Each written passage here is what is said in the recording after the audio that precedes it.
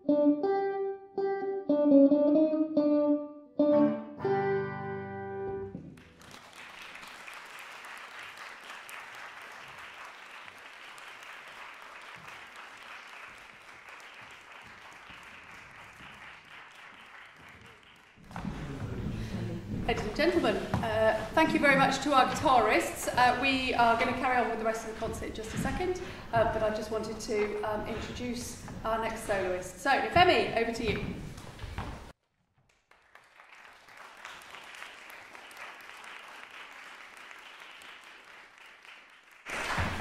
Hello, my name is Femi, and I'll be playing Theme and First Variation by Dmitri Kabalevsky.